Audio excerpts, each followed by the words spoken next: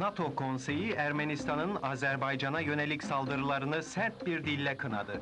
Konsey bildirisinde Karabağ ve Nahçıvan'ın var olan statülerinin silah zoruyla değiştirilemeyeceği vurgulandı ve Ermenistan'ın işgal ettiği Azeri topraklarından acilen geri çekilmesi istendi. NATO, Ermenistan'ı bölgedeki sorunları barışçı yollardan çözüme kavuşturmak için tarafsız kuruluşlarla işbirliği yapmaya çağırdı. NATO Konseyi'nin açıklamasında tarafların sorunu barışçı yollardan Avrupa Güvenlik ve İşbirliği Konferansı çerçeve